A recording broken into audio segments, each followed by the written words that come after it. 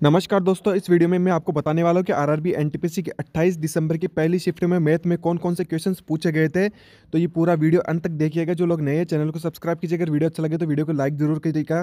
तो दोस्तों, वीडियो को करते स्टार्ट बिना किसी देरी के। तो दोस्तों, यहाँ पे मैथ के जो जो क्वेश्चन पूछे गए उसमें पहला क्वेश्चन था बोर्ड मास का।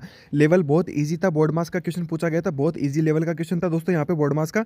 और जो दूसरा क्वेश्चन पूछा गया था, वो एस आई एंड सी आई का था। जी हाँ दोस्तों, चक्रवर्ती ब्याज एंड साधारण ब्याज का दो वर्षों का अंतर दिया हुआ था। दर दे रखी थी वहाँ पे और पूछा था कि आपका मूलधन क्या होगा? तो ये क्वेश्चन यहाँ पे बहुत सिंपल था एस आई एंड सी आई का। और दोस्तों जो अगला क्वेश्चन था वो टाइम एंड वर्क का था वो भी बहुत सिंपल था कि ए और बी का कोई टोटल दिनों में कार्य दे रखा था कि इतने दिन में का, काम करते हैं और उसके बाद में ए का कार्य दे रखा था कि ए इतने दिनों में काम करता है तो बी कितने दिनों में करेगा। तो ये क्वेश्चन भी बहुत ही सिंपल था। क्वेश्चन का पैटर्न सेम था, बस आंकड़े चेंज करे गए। अगला क्वेश्चन बात करें तो यहाँ पे डिस्काउंट का था कि घड़ी पे इतने रुपए का डिस्काउंट है और 12 परसेंट की छूट पे बेचा जाता है तो घड़ी का विक्रय मूल्य क्या होगा? ये भी बहुत सिंपल क्वेश्चन पूछा गया आज की शिफ्ट में, पहली शिफ्ट में ये बहुत सिंपल क्वेश्चन था। और दोस्तों, एक माध्यिका का क्वेश्चन पूछा गया था, यहाँ पे स्टेटिक्स से पूछा गया था कि एक माध्यिका बहुत सारे नंबर दे रखे थे नीचे और पूछा था कि इसकी माध्यिका क्या होगी। तो फिर से बता दूँ कि आंकड़े चेंज करे गए, यहाँ पे सेम आंकड़े नहीं थे वहाँ पे। तो दोस्तों, इसके बाद में एक क्वेश्चन और आया था स्टेटिक्स का कि एक वितरण का मानक विचलन चार है तो प्रसरण का मान क्या होगा? दोस्तों, यहाँ पे वेरिएंस पूछा गया यहाँ पे स्टैंडर्ड डेविएशन दे रखा था और उसमें वेरियंस पूछा गया है।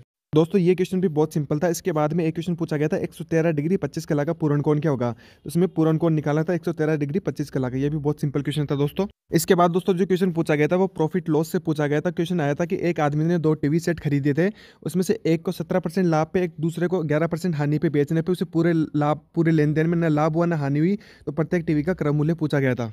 तो इस टाइप के क्वेश्चन अगर आपने कर रखे तो आप वहाँ पे इजीली अटेम्प्ट कर पाओगे सारे क्वेश्चंस उसके बाद में एवरेज से दिया गया था कि किसी पाँच व्यक्तियों का औसत वज़न दिया हुआ था। इसमें से चार व्यक्तियों का वज़न दे रखा था, पाँच व्यक्ति का वज़न निकालना था।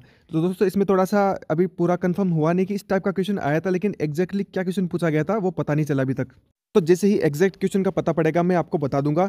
इसके बाद में क्वेश्चन पूछा गया था, दोस्तों, यहाँ पे जो सेकंड जो नंबर दे रखा है nine nine nine nine nine वो तो सेम था, लेकिन जो पहला जो डिजिट दे रखा है यहाँ पे, वो थोड़ा सा डिफरेंट था वहाँ पे। उनका कैलकुलेशन पूछा गया था कि कैलकुलेशन क्या होगी इसकी।